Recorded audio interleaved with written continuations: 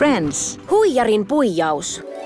Kokeilkaa, on halpaa, helppoa. Kaikki voivat voittaa. Voittaja, voittaja, voittaja. Voi sääli. Oo, no, kyse on ranneliikkeestä. Hmm. Rakastan näitä pelejä.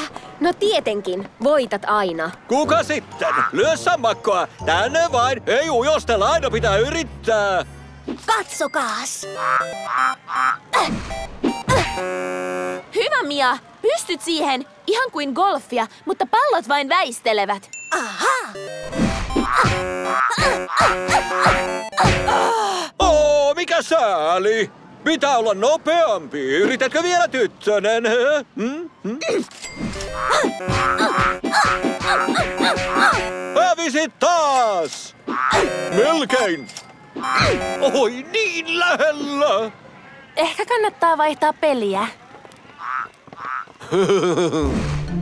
Moikka tenavat! Onko säkä? Jos koittaa, voi voittaa. Hei, etkö sinä? En, hän on veljeni. Mia, olet hyvä koriksessa. Hei, tuulee yksi metri sekunnissa kaakkoon.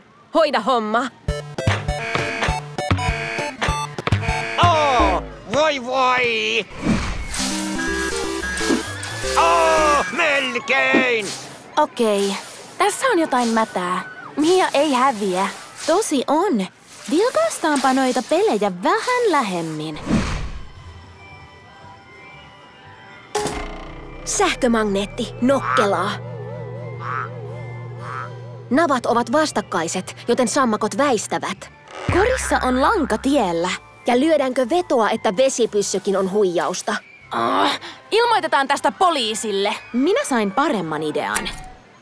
No niin, tarvitaan kaksi magneettia, ruuvitaltta, pihdit, metrikuparijohtoa, 12 voltin akku. Eikö tämä riitä? Okei, minulle riitti. Oh, et kai sinä lopeta jo. Aivan, et saa luovuttaa. Jospa kokeilet vielä korista.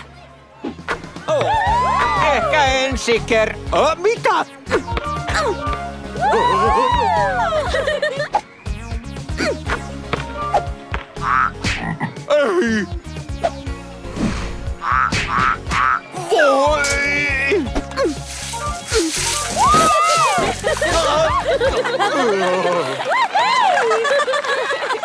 Ja hän voittaa taas! Moi vaan, kun Mia pussittaa pallon koriin uudestaan. Palkinto tänne. Ai mikä? Hän voitti jo kaiken! Tässä, ota kelloni, äläkä palaa! Pidä se. Tämä oli niin kivaa. Oh. Mutta mitä näille tehdään? Tahdon kameleontin. Minulle hummeri! Emma, pääsit vihdoin. Kiitti. Saat nimen Gina Humme Brigida. Nämä loput ovat teille. Kiitti.